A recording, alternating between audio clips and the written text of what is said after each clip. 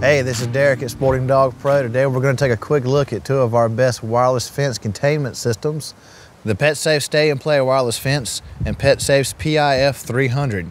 With proper training, both these systems allow your dog to stay in the yard in a projected circular boundary without having to bury any wire like you would with a traditional underground fence.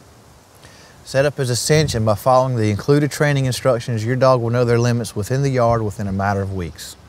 Each system uses a transmitter and a receiver collar to set up that circular boundary to keep your dog within its limits.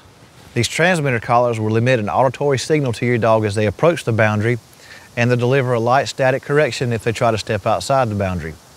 Both systems are portable. You can take them anywhere you need to go. The receiver collars are waterproof and there's no limit to the number of dogs that you can add to either system at any time. The advantage to the newer and smaller stay and play wireless fence system is that it can cover a larger area a little over 100 feet as compared to the 90 foot radius of the PIF 300 containment system.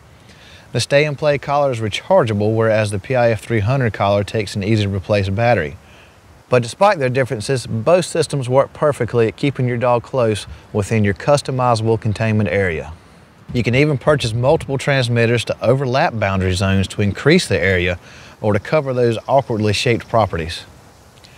As always, read your instruction manual completely before use. Thank you for watching and thank you for shopping at Sporting Dog Pro. Tough gear for tough dogs.